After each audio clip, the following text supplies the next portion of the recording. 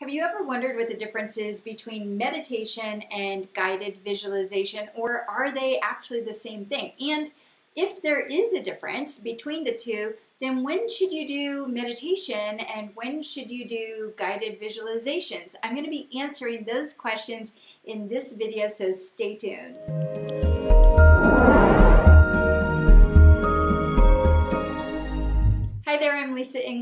Witter, and welcome to my channel where I help spiritual seekers just like you to get non New Agey answers to deep spiritual questions. Be sure to subscribe to my channel if you haven't already, and also click on the notifications icon. I put out new videos every week.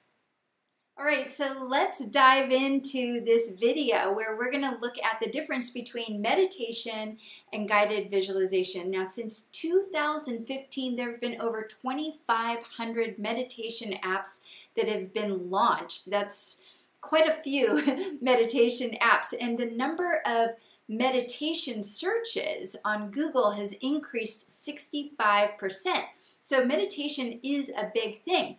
But it's not just apps. Guided meditations, meditations, guided visualizations, they're showing up everywhere.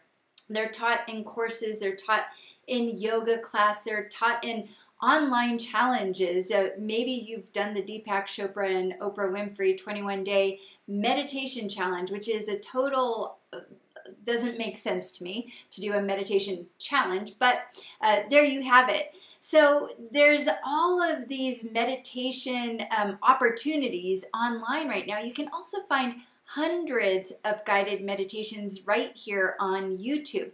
But there seems to be this confusion about the difference between what is meditation and what is guided visualization. And it comes from not having a clear understanding of what meditation actually is and what guided visualization is. So we need to ask ourselves before we begin this discussion what's the purpose, anyways? What's the purpose of meditation? What's the purpose of visualization? And why am I doing it? What is the result that I'm looking for?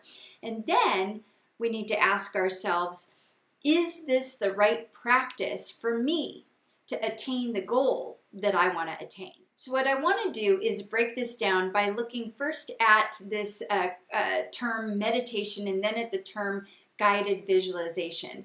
So when we're speaking of meditation, the way I see it is that there's sort of these two categories meditation can be put into. Meditation as a spiritual practice or meditation as a personal growth, health, and wellness practice. Let's look first at meditation as a spiritual practice. So, one of my teachers uh, said, and I thought this was a really, really great definition of meditation. He said that meditation isn't something, isn't only something that we do, it's also a state of consciousness that we attain through doing the technique of meditation.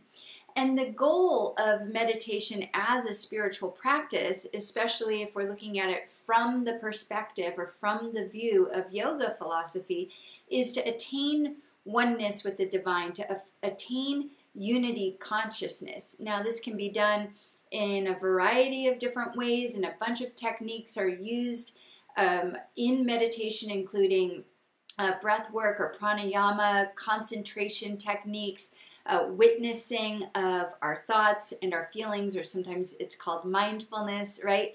It may also include visualization. In certain spiritual traditions, there is a type of visualization that you use in uh, spirit, the spiritual practice of meditation as well. Now, we can also look at meditation from the perspective of personal growth or health and wellness. And I think that this is the big category that everybody is really moving towards these days. There are more people using meditation as a tool, as a practice to achieve better health, to, um, to attain some level of personal growth as well.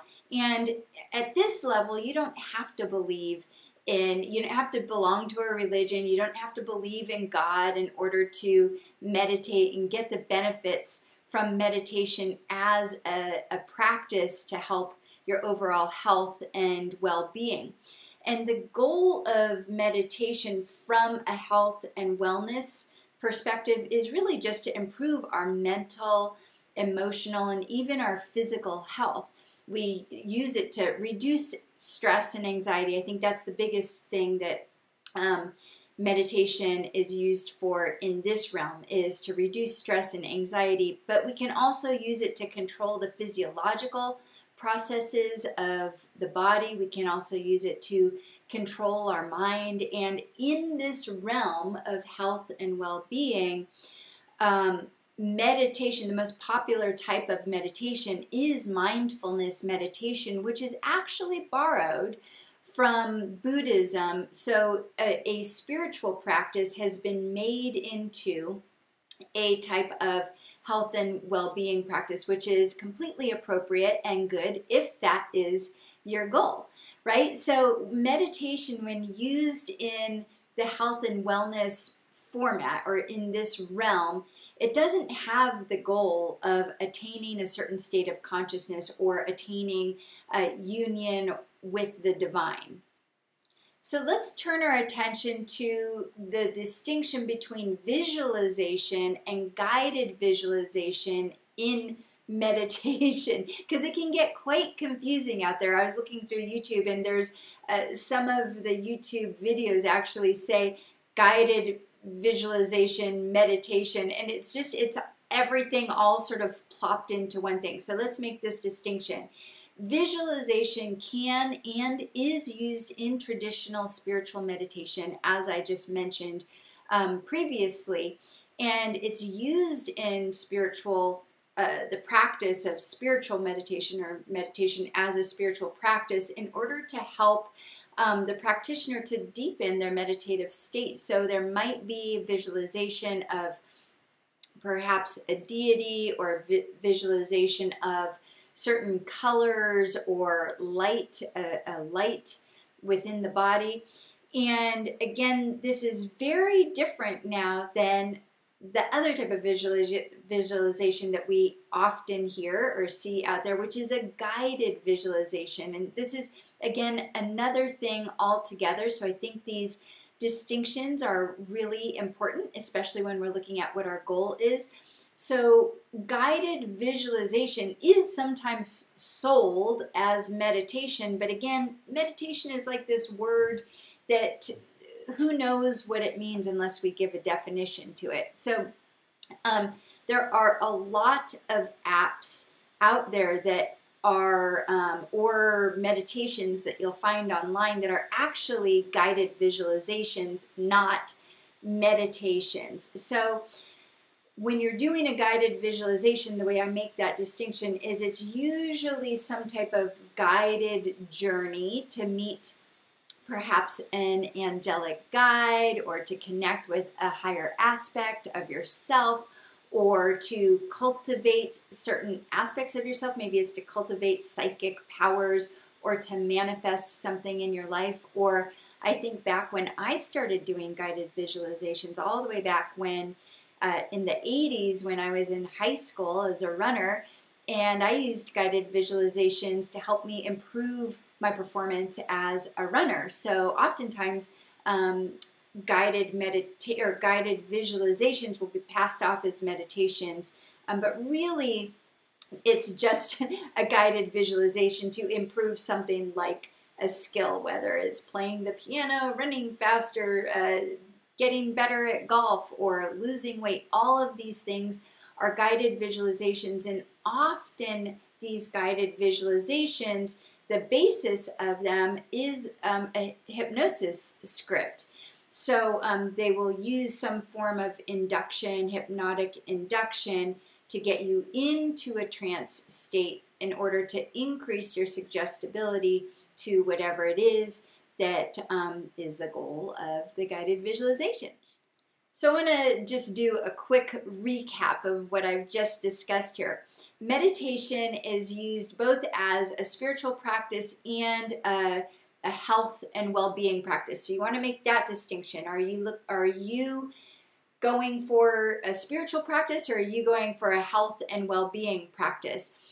If you're going for um, meditation as a spiritual practice, we can further define meditation not only as a practice that you do, something that you do, but a state of consciousness that you attain. Now, the difference between visualization and guided visualization is that visualization is something that is used in meditation to deepen a felt or sensed experience. And visualization is often used in uh, meditation as a spiritual practice. Now, we also have guided meditation, which is not meditation as we've defined it here. It often uses suggestion hypnosis uh, techniques in order to achieve a certain goal, like manifesting something or overcoming challenges or peak performance in sport. So that's a little recap of what we've discussed. So it's time for question of the day. What insights or ahas did you have about this distinction between meditation and guided visualization? Let me know in the comments below. Thank you so much for joining me and be sure to subscribe to my channel if you haven't already. I put out new videos every week and I look forward to seeing you in the next video. Namaste.